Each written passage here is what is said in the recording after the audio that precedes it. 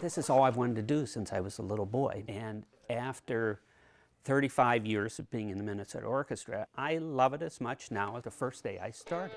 But when Roger Frisch draws the bow across the strings, especially on high notes, his arm shakes from a condition called essential tremor. And then once it starts, then there's no stopping it. This might be the end of my career.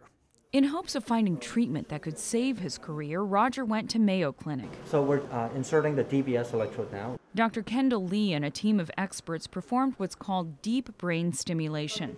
And during the entire procedure, Roger was awake, ready to play his violin. Can you play a song for us? Mayo engineers designed a device that measures Roger's tremor. While Roger plays, Dr. Lee inserts electrodes into Roger's brain and guides them to the site where the tremor originates. Once there, the electrodes fire electrical signals to hopefully stop the tremor. There was no guarantee it would work.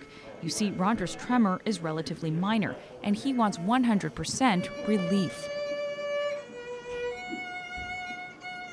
Thankfully, it worked. I'm, I'm very happy with the results of the operation, as is the patient. It can take a while to recover from brain surgery, but not for Roger. In two days, he was practicing, and within four weeks, he was ready to be back in the spotlight.